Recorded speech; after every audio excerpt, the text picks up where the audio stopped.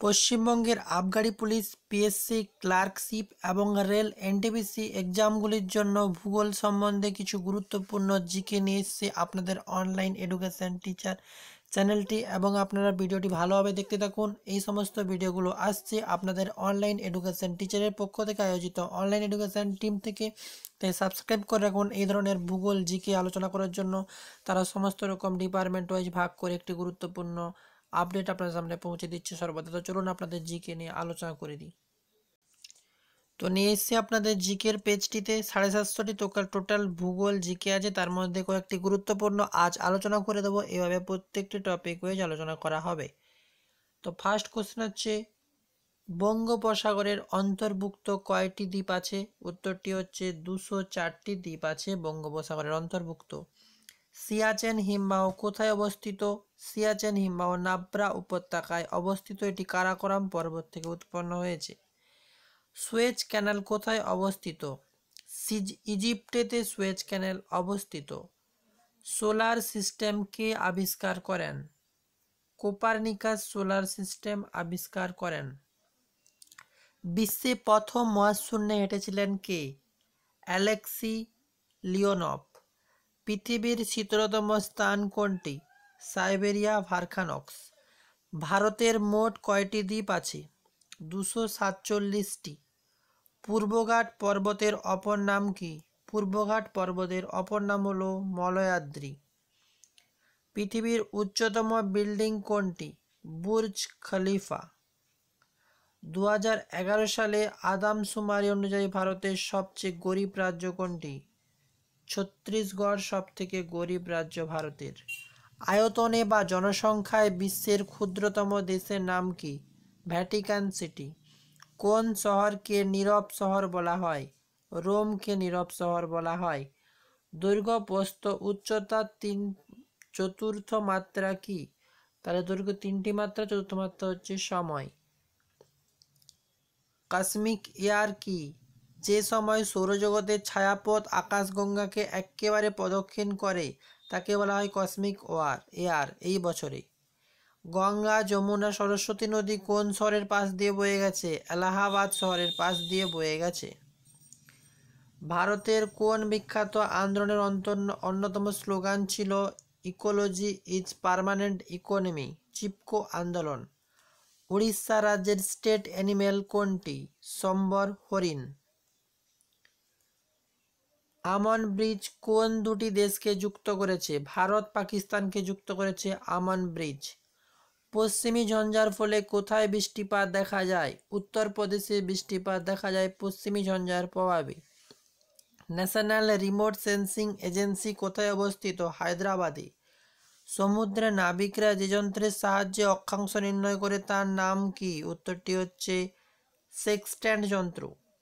পৃথিবীর বৃহত্তম হিমবাহ কোনটি? আলাস্কার হুবার্ট। পৃথিবীর গভীরতম ফিয়র্ড কোনটি? নরওয়ের সেভলে ফিয়র্ড। উত্তরপ্রদেশ ও বিহারের অশুক্রাকৃতি হ্রদকে কি বলা হয়? কোর বা তাল বলা হয়। আন্তর্জাতিক ভূমিক্ষা সমীক্ষা কেন্দ্র কোথায় অবস্থিত? মার্কিন যুক্তরাষ্ট্রে অবস্থিত। আলপস পর্বতের সর্বোচ্চ সিংহের নাম কি? Mount blank. চ্যালেঞ্জার খাত কোথায় অবস্থিত? প্রশান্ত মহাসাগরে চ্যালেঞ্জার খাত অবস্থিত। বেরিং স্রোত কোন মহাসাগরে দেখা যায়? প্রশান্ত মহাসাগরে বেরিং স্রোত দেখা যায়। বৃক্ষরূপী নদী বিন্যাস কোথায় দেখা যায়? মরু অঞ্চলে। উত্তর গোলার্ধে মেরুজ্যোতি কি কি বলা হয়? আরোর বেরিয়ালিস। ভারতের দ্বিতীয় সর্বোচ্চতম জলপ্রপাত কি? সরবতী বা সরাবতী নদীর উপর গারসোপ্পা বা যোগ যা মহাত্মা গান্ধী জলপ্রপাত, ভারতের দ্বিতীয় সর্বোচ্চ জলপ্রপাত। পূর্বঘাট পর্বতের সর্বোচ্চ সিংহের নাম কি? অন্ধ্রপ্রদেশ ও উড়িষ্যা সীমান্তে অবস্থিত আর্মাকোল্ড হচ্ছে পূর্বঘাট পর্বতের সর্বোচ্চ সিংহ পশ্চিমঘাট পর্বতের সর্বোচ্চ সিংহের নাম কি?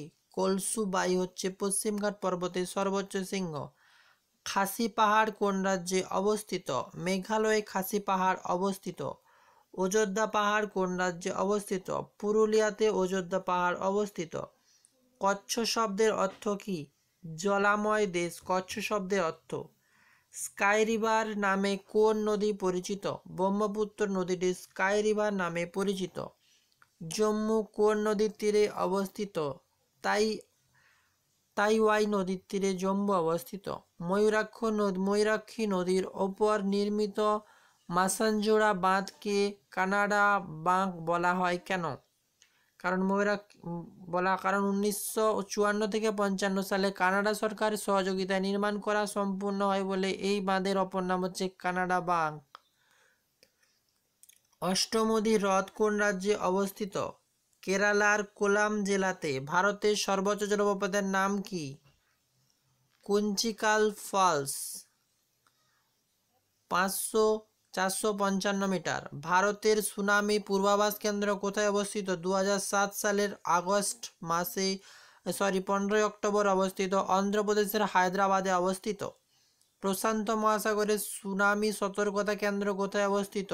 হনলুইতে। আন্তর্জাতিক জলাভূমি দিবস কবে পালিত হয়? দোসরা ফেব্রুয়ারি। রামসার চুক্তি কত সালে কার্যকারিত হয়? রামসার চুক্তি উনিশশো পঁচাত্তর সালে। কার্বন মুক্ত দেশ কোনটি? ভুটান একটি কার্বন মুক্ত দেশ। কাঞ্চনজঙ্ঘা ন্যাশনাল পার্ক ইউনেস্কো এর ওয়ার্ল্ড হেরিটেজ সাইট এর তালিকা কবে স্থান পায়?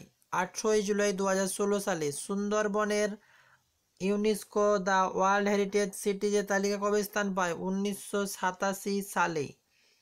ভারতের ইউনেস্কো প্রদত্ত বর্তমান মোট কতগুলো স্থানে ওয়ার্ল্ড হেরিটেজের তাকমা পেয়েছে? পঁয়ত্রিশটি স্থানে। চিপকো কথাটির অর্থ কি? জড়িয়ে ধরা। চিপকো আন্দোলন কবে গড়ে ওঠে? উনিশশো পঁচাত্তর সালে বর্তমান উত্তরাখণ্ডের গাড়োয়াল জেলা মণ্ডলের গ্রামকে গাছ গাছ কাটার বিরুদ্ধে স্বতঃস্ফূর্ত অহিংসা আন্দোলন গড়ে ওঠার জন্য জড়িয়ে ধরে এই আন্দোলন হতো বলে একে চিপকো অর্থাৎ জড়িয়ে ধরা আন্দোলন বলা হয়। চিপকো আন্দোলনের স্লোগান কি ছিল? What do the forest bear? Soil, water and pure air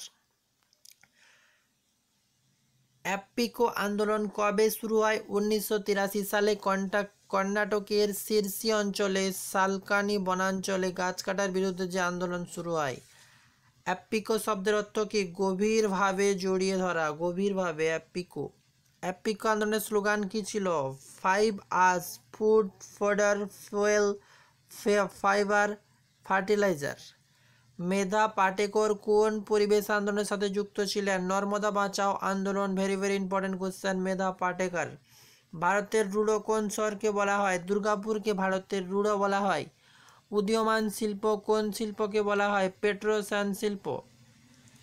মধ্য আমেরিকার স্থানান্তর কৃষি কী নামে পরিচিত? মিল্পা। বসুন্ধরা সম্মেলন কবে অনুষ্ঠিত হয়? উনিশশো বিরানব্বই সালে। ডাব্লিউটিও এ দেশের সংখ্যাগত একশো চৌষট্টিটি। দু সালে আদাম সুমারি অনুযায়ী ভারতের জনঘনত্ব কত তিনশো বিরাশি জন প্রতি বর্গ কিমি। ভারতের সর্বোচ্চ দীর্ঘ জাতীয় সড়ক কোনটি? বারাণসীর কন্যাকুমারী। জাভা দ্বীপ কোন মহাসাগরে অবস্থিত? প্রশান্ত। মানবীয় ভূগোলের প্রবক্তাকে Vidal de la Blache. Civil citizen and climate গ্রন্থটির লেখাকার হেস হান্টিংটন। কসমোক কার লেখা? হামবোল্টের লেখা কসমোক। মৃত্তিকার অম্লত্ব ও ক্ষারকত্ব নির্ণয়ের সূচক ঘটে কবে? উনিশশো নয় সালে। সংস্কৃতির উৎসক্ষেত্র কথাটি প্রথম কে উপস্থাপন করেন? সাওয়ার। সমাজ ভূগোল লেকচার শব্দটি কে প্রথম ব্যবহার করেন? W G Sumner. ভারতের শক্তির সর্ববৃহৎ উৎস কোনটি? তাপীয় শক্তি। পশ্চিমবঙ্গের কোথায় লাক্ষা চাষ সবচেয়ে বেশি হয়? ঝালদা ও মানবাজার অঞ্চলে। সিঙ্গারেনি কয়লাখনি কোন রাজ্যে অবস্থিত? অন্ধ্রপ্রদেশ। মালপ্রভা নদী কোন রাজ্যে অবস্থিত? কর্ণাটক। বিশ্ব সমুদ্র দিবস কবে পালিত হয়? Eight June. বাংলাদেশের কোন শহরকে প্যাচের ডান্ডি বলা হয়? নারায়ণগঞ্জকে বাংলাদেশের? ভারতের প্রথম জলবিদ্যুৎ কেন্দ্রের নাম কি দার্জিলিংয়ের সিদ্রাপং? নামদাবা ব্যাঘ্র প্রকল্প কোন রাজ্যে অবস্থিত? অরুণাচল প্রদেশ। সাইক্লোন বা অ্যান্টিং সাইক্লোন কার প্রভাবে হয়ে থাকে? বাণিজ্যিক বায়ু। কোন নদীর তীরে শ্রীনগর অবস্থিত? জিলাম সম্প্রতি দার্জিলিং থেকে বিচ্ছিন্ন হয়ে একটি নতুন জেলা তৈরি হয়েছে, তার নাম কি? কালিম্পং। বাংলার দক্ষিণ বঙ্গোপসাগর জেগে ওঠা নতুন দ্বীপটির নাম কি পূর্বাশা দ্বীপ। দ্বারকেশ্বর ও শিলাবতী নদীর যুগ্ম প্রবাহ কি নামে পরিচিত রূপনারায়ণ, বাংলার সর্বাধিক বৃষ্টিপাতযুক্ত জায়গা বক্সাদুয়ার কোন জায়গায় অবস্থিত? জলপাইগুড়ি। দিয়ারা অঞ্চলটি বাংলার কোন জেলার সাথে যুক্ত? মালদা। বাংলার রাঢ় অঞ্চলের সবচেয়ে সবচেয়ে বড় নদী কি? রাঢ় অঞ্চলের সবচেয়ে বড় নদী হচ্ছে দামোদর। তিলপাড়া জলসেচ খালটি কোথায় অবস্থিত? বীরভূমে। বাংলার কোন জেলায় সবচেয়ে কম বৃষ্টিপাত হয়ে থাকে? পুরুলিয়া। বাংলার কোন জেলায় সবচেয়ে বেশি গরম পড়ে? বর্ধমান জেলার আসানসোলে। ত্রাসের নদী কাকে বলা হয়? তিস্তা। টোটাল নব্বইটি কোশ্চেন আপনাদের আজকে আলোচনা করে দিলাম। অবশ্যই ভিডিওটি লাইক করে আমাদের চ্যানেলটি সাবস্ক্রাইব করুন। এই ধরনের গুরুত্বপূর্ণ আপডেট প্রত্যেক দিন আপনারা পেয়ে যাবেন। আজকের ভিডিও পর্যন্তই। Good bye.